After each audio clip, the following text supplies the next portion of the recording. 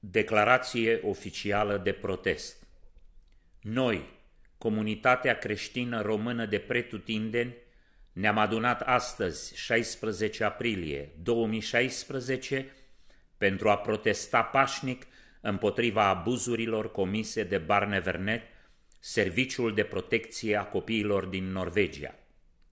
Norvegia, noi, marea mulțime care protestăm astăzi în întreaga lume, îți vorbim într-un glas.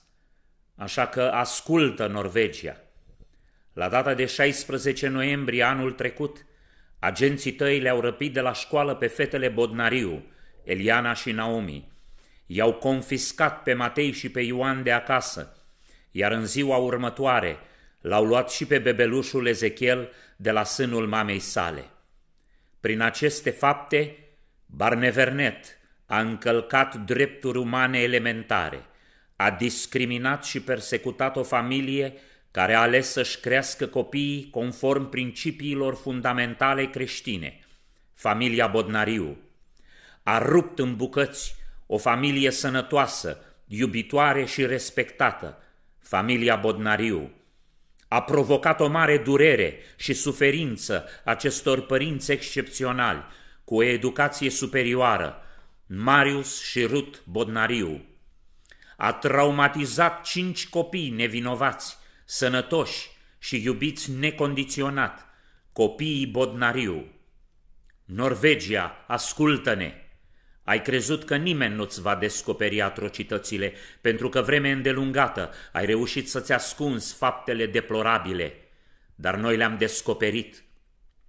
Ai crezut că nimeni nu va vedea dincolo de fațada ta atrăgătoare, dar noi am văzut prin vălul tău înșelător și ți-am înțeles intențiile ascunse. Ai crezut că nimeni nu-ți va condamna atrocitățile comise, dar noi le condamnăm și vom atrage asupra lor atenția întregii lumi. Ai crezut că nimeni nu va avea curajul să te înfrunte, dar noi ne-am ridicat împotriva ta și vom continua să stăm neclintiți împotriva atacurilor tale sadistice și opresive, împotriva familiilor, părinților și copiilor. Norvegia, suntem și vom rămâne aici, întăriți după 150 de zile și mai hotărâți ca oricând. Norvegia, ascultă-ne! Ți-ai trimis mercenarii să-ți justifice acțiunile, prezentând cazul Bodnariu ca fiind despre abuz. Cu toate acestea, în lipsa martorilor sau dovezilor temeinice, Norvegia, cum se face ca agenții și cadrele medicale de profesie, după investigații amănunțite și practici controversate, nu au găsit nici urmă de abuz, traume sau maltratare? Din contră, de când sunt în custodia Barnevernet, băieții Bodnariu au fost vizibili învinețiți și zgâriați. Norvegia, ascultă-ne! Tu zici că acțiunile tale sunt conduse de interesul superior al copilului. Atunci, de ce nu ții cont de copiii bodnariu care îți cer cu toții să meargă acasă cu părinții lor biologici? Norvegia, ascultă-ne! Zici că Barnevernet există pentru a ajuta părinții, dar continui să-i ții în captivitate pe copiii bodnariu cu toate că psihologi norvegieni și chiar psihologi angajați de Barnevernet i-au evaluat pe Marius și Ruth ca fiind părinți responsabili și iubitori. L-ați dat pe bebelușul Ezechiel înapoi părinților săi biologici atunci când judecătorul a decis împotriva voastră. Cum explicați voi că Marius și Ruth pot fi buni părinți pentru Ezechiel, dar nu și pentru ceilalți patru copii? Norvegia, Ascultă-ne!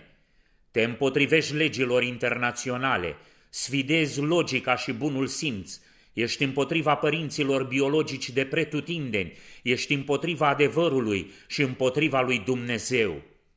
Este timpul să faci ce trebuie.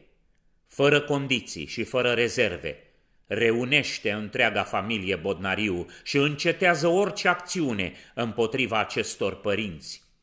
Este timpul să faci ce trebuie. Nu mai răpi copiii. Acționează cu adevărat în interesul copiilor și nu-i mai confisca de la părinții lor biologici. Norvegia, ascultă-ne, grăbește-te, fă ce trebuie și fără condiții, fără rezerve, dă înapoi toți copiii lui Marius și Rut înainte ca acțiunile tale deplorabile să-ți degradeze reputația în toată lumea. Fă ce trebuie și dă înapoi necondiționat și fără rezerve toți copiii Bodnariu, înainte ca toată lumea să se ridice împotriva ta. Norvegia, ascultă-L pe Dumnezeu.